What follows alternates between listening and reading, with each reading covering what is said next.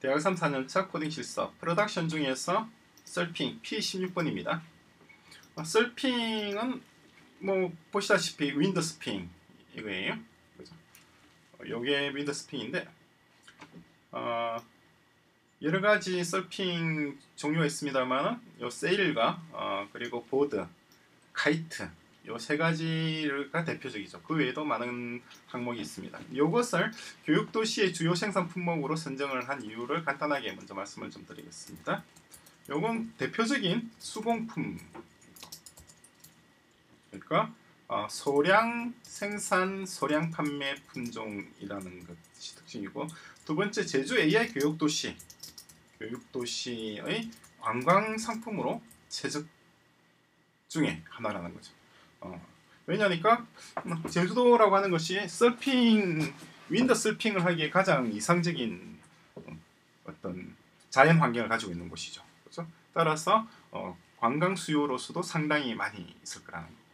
그리고 어, 세 번째 상당히 이게 또 과학적입니다. 어, 그렇게 보일지 안 보일지 모르겠습니다만 서핑 장치는 굉장히 고도의 과학적이고 어, 기술과 어, 경험 등이 필요한 고가 장비라는 거죠. 따라서 교육 도시의 주요한 생산품으로 하기 적합하다. 그래서 글로벌 어, 서핑 프랜차이즈 그죠?를 구성하고 설립하고 운영하는데 설립 및 운영에 필요한 제반 시스템을 코딩 하는 것이 이 서핑 컨소시엄에 참여하는 분들의 역할입니다.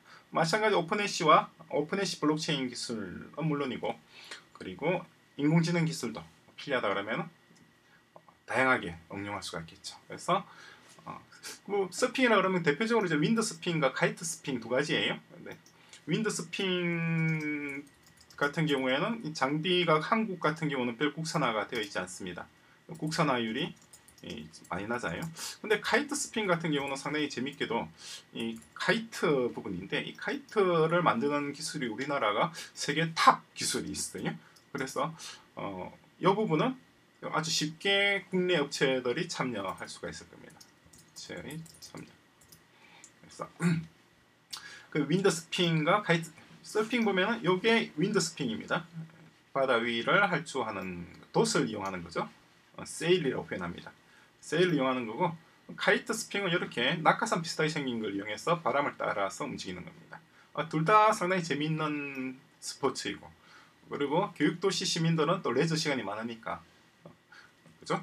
그리고 학생들의 학습에도 상당히 좋겠죠. 그 제주도 교육도시의 학생들은 여름에는 어, 누구나 윈드서핑과 kite 서핑 수업을 받도록 그렇게 할 수도 있습니다. 그렇게 해서 어쨌거나 어, 교육도시의 산업 구조에 딱 맞는 품목들 중에 하나입니다. 서핑 용품이. 그래서 이왕이면 글로벌한 서핑 프랜차이즈를 어, 종래의 어떤 서핑이나 kite 용품을 만드는 업체들보다도 어, 월등히 우수한 경쟁력을 확보하는 것. 그것이 이 서핑 프랜차이즈에 참여할 개발자들의 역할입니다.